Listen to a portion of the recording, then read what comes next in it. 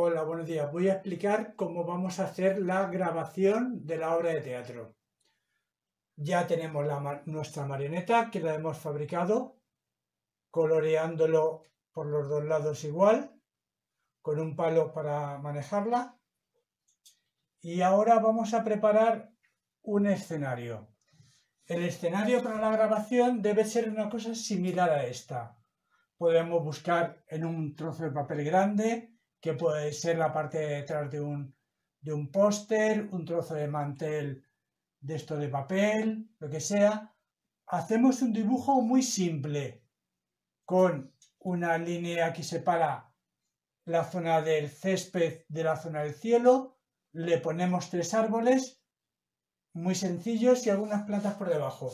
Para colorearlo vamos a usar ceras blandas para colorearlo con rapidez. Em,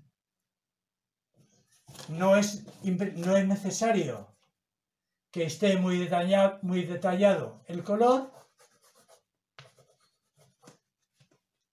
porque es simplemente un fondo. Un fondo donde situar nuestros personajes. Entonces le damos así un coloreado rápido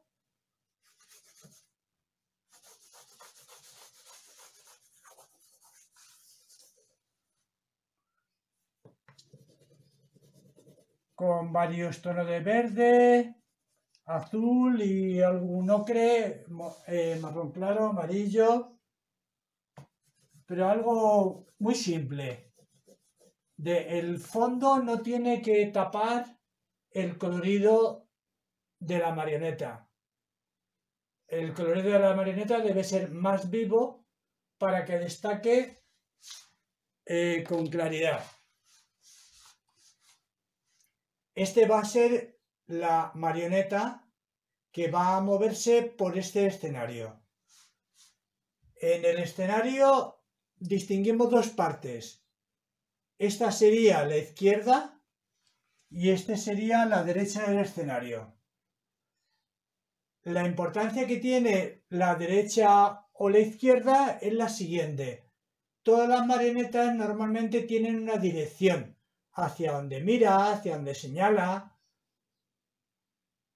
Y entonces, como la, nuestra marioneta es reversible, eh, dependiendo de si entra por la izquierda o entra por la derecha, debemos colocarla de una manera o de otra. Porque la marioneta siempre tiene que ir hacia el centro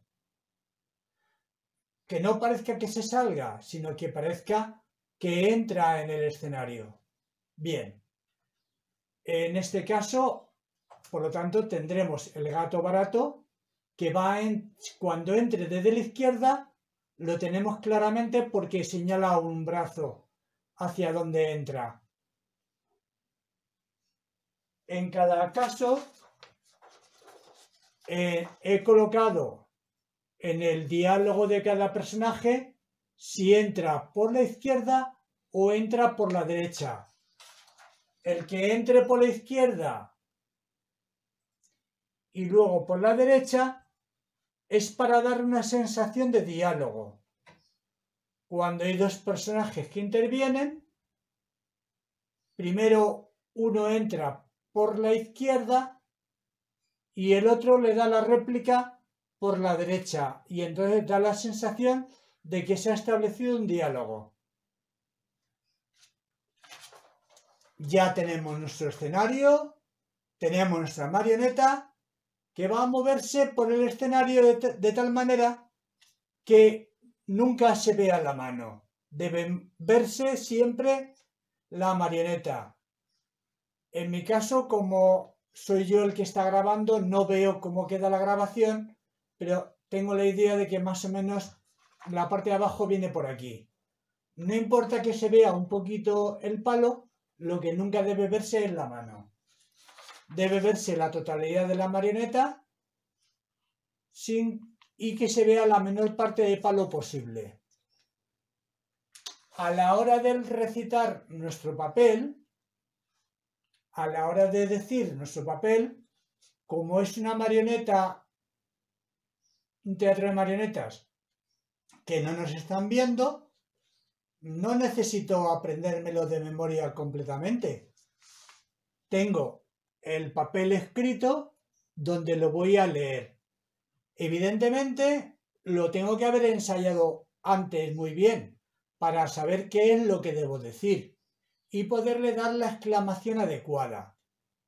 Porque a la hora de recitar mi papel, a la hora de declamar mi papel, tengo que tener en cuenta eh, que la voz sea clara, que no sea atropellada, rápida, sino con la, eh, una buena vocalización, de tal manera que se entiendan bien los sonidos. Tengo que hacer las pausas adecuadas. Cuando es una coma, la pausa es breve. Cuando es un punto, la pausa es más amplia. Cuando paso de un, una intervención a otra, a la hora de grabarlo, voy a hacer una pausa entre ambas. Al haber esa pausa, luego me va a resultar más fácil cortar todos los diálogos para luego poder hacer el montaje de toda la obra. Bien. recuerdo que la voz debe expresar los sentimientos del personaje. Si es aburrimiento, cansancio, alegría, dolor, tristeza. En cada caso debo expresar con mí, es con la manera de declamarlo, la emoción del personaje. Bien, paso ya a hacer la, eh, la grabación del, eh, del diálogo de mi personaje. Yo soy gato barato y me gustaría ser como oso patoso, que es tan fuerte y valiente. No tiene miedo a nadie.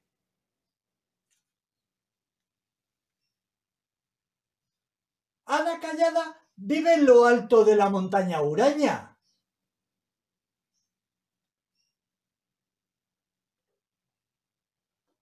Por eso no se ven peces en tu corriente.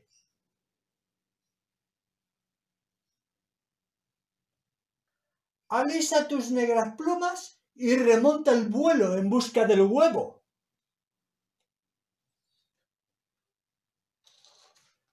Veo que tengo que robar miel de las colmenas, como oso patoso. Y las abejas me van a matar a picotazos. A mí eso no me gusta. Prefiero quedarme como estoy.